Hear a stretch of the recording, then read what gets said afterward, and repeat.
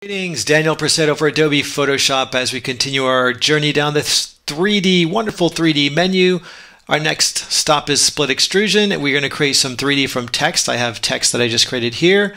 Options bar, click on that button, 3D text, as simple as that. And now that I have this solid object, it's a solid 3D object. You can see I can move it around. I can, you know, do all these things with it.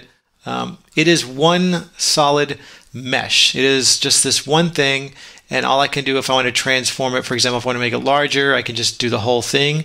But what if I wanted to take individual letters? Here you go. Split extrusion. It'll warn me that if I have animations or the editability, like if these are the letters you want, then yes, these are the things that you want. And now they're individual objects, they're individual meshes that you can change to your heart's content.